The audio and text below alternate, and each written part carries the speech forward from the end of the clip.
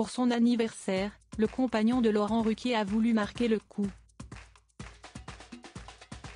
Le présentateur, qui a fêté ses 60 ans vendredi 24 février, a reçu son gâteau d'anniversaire en direct de son émission Les Enfants de la télé ce dimanche 26 février. Durant la chronique hebdomadaire de Donnel Jacksman, Laurent Ruquier a été surpris de découvrir que toute l'équipe de l'émission avait préparé une surprise.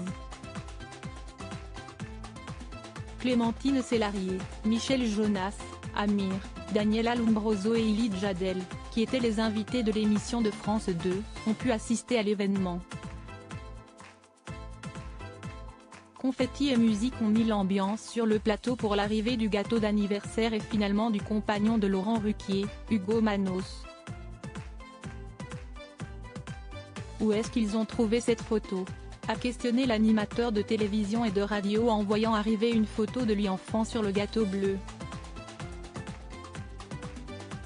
Heureusement que je n'ai pas 60 ans tous les ans, s'est-il exclamé. Donnel Jacksman qui a lancé les festivités a ensuite annoncé la couleur pour le présentateur, aux enfants de la télé, on offre des cadeaux.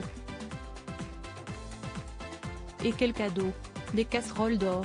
La première, ce n'est pas moi qui vais vous la remettre. Si est une personne que vous aimez et que vous n'avez pas vue depuis longtemps? Ça va vous faire un choc de la revoir, a-t-il annoncé avant qu'Hugo Manos ne débarque sur le plateau. Une petite casserole Le compagnon de Laurent Ruquier a retrouvé une ancienne vidéo du présentateur à l'âge de 20 ans. Avant de lancer cette petite casserole, merci pour ces 5 années de bonheur. Merci d'être là au quotidien pour moi. Les téléspectateurs aussi, je pense, veulent te remercier pour les 30 ans de bonheur, de rire et d'humanité, a expliqué l'influenceur et coach sportif.